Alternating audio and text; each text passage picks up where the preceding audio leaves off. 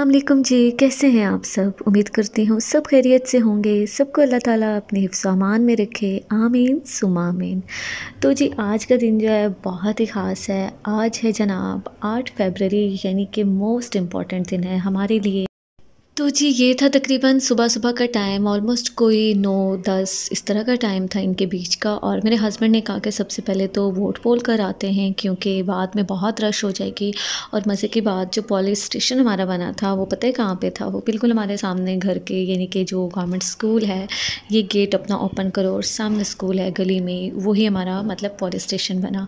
तो वहाँ पर वोट पोल करनी थी, फिर मैंने भाभी से भी कहा तो भाभी, भांजी, हम लोग सब एक साथ ही चले गए। रश नहीं था, जल्दी फ्री हो हो गए तो बस घर आई, उसके बाद किचन में घुस गई, बहुत सारे काम किए। वो तो खैर मैं बाद में दिखाऊँगी। मैंने सोचा पहले तो मैं आपको गले के हालात दिखाती हूँ। ये सामने ग्रिल से पहले मैंने अब्दुल अहद को भेजा कि थोड़ी सी वीडियो बना के ले आओ। बस आड़ी तिरछी उसने कुछ ना कुछ करके बनाई और फिर मैं बाद में ऊपर छत पर गई क्योंकि ज़ायरा गली में रश था तो ज़रा ऑकवर्ड सा लगता है कि एकदम यू नो बाहर झांकना मतलब हमारे यहाँ ज़रा ये रवाज नहीं है।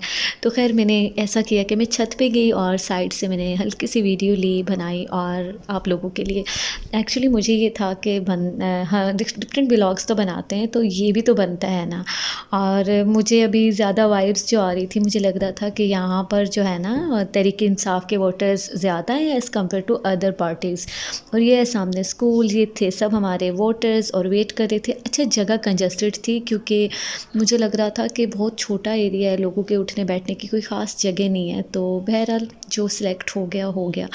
हमें ये बेनिफिट हुआ कि हमने टाइम पे जाके वोट दी। उस टाइम रश भी नहीं था और ज़रा पुरस्कून सा माहौल था। और उसके बाद तो फिर गली में जो शोर, शराबा रश तो खैर यहाँ छत पर से जब मैं वीडियो बना रही थी ना तो मुझे ज़्यादा वाइब आ रही थी कि तहरीक इंसाफ के वोटर्स ज़्यादा हैं as compare to other parties तो खैर ये थी जनाब मतलब बेसिकली मेरा कहने का मकसद ये है कि मंजिल तो सबकी एक है, रास्ते सबके मुख्तलिफ़ हैं।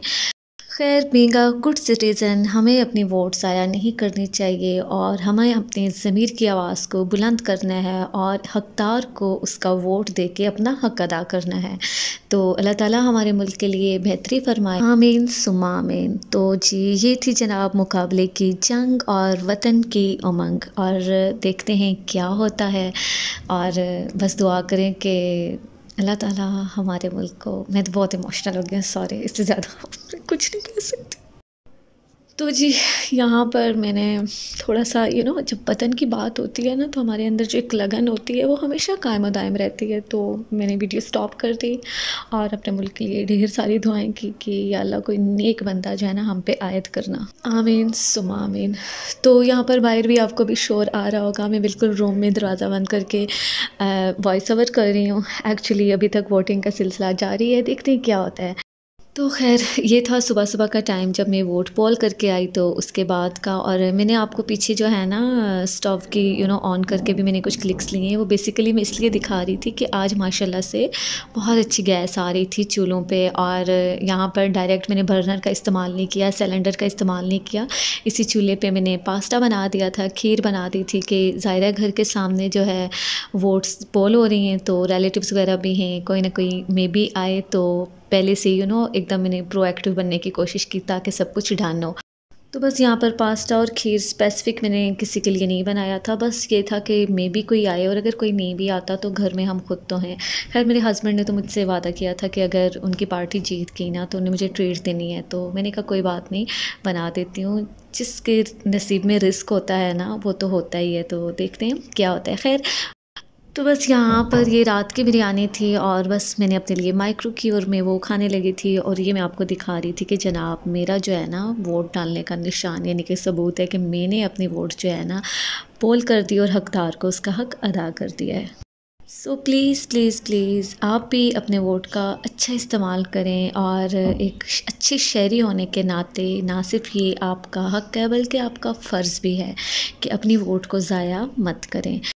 तो खैर, इस वक्त मुल्क के साथ हमारी बेलोस दुआएँ भी चल रही थी साथ साथ फूडिंग भी हो रही थी। एक्चुअली ये रात को मेरे हस्बैंड लाए थे हलवा और मैंने ऑलरेडी मीठा बनाया हुआ था। तो ये मैंने सोचा, चलो अभी मैं इसको निकालती हूँ, गर्म करती हूँ और बच्चों को देती हूँ और ख़ुद भी खाती हूँ। और मेरे हस्बैंड तो अभी बाहर ही थे स्टिल क्योंकि ज़ाहिर है, बाहर वोटिंग का सिलसिला भी जारी और सारी था। तो जी, ये था आज का व्लॉग जो मैंने आपसे शेयर किया। उम्मीद करती हूँ आपको अच्छा लगा होगा और अगर आप वीडियो वॉच करें तो लाइक कर दें कमेंट कर दें सब्सक्राइब कर दें। अपनी राय देना मत भूलिए। आप किसको वोट दे रहे हैं और क्या आपने वोट दिया है या नहीं दिया? और क्या बना आपके वोट का? जिस पार्टी को आपने वोट दिया, वो जीती या नहीं जीती? ये हार और जीत की जंग अभी जारी है। देखते हैं किसकी हार होती है, किसकी जीत होती है। तो हमारी दुआएँ तो हमारे मुल्क के साथ हैं, हमारे आवाम के साथ हैं और हमारे लीडर के साथ हैं। तो दुआओं में रखिएगा, आप भी हमें याद। इसके साथ आप सबसे चाहूँगी इजाज़त। अल्लाह हाफिज़। आगे गली के और क्लिक से आई मीन उससे देखें वोटिंग का सिलसिला कैसा जा रहा है।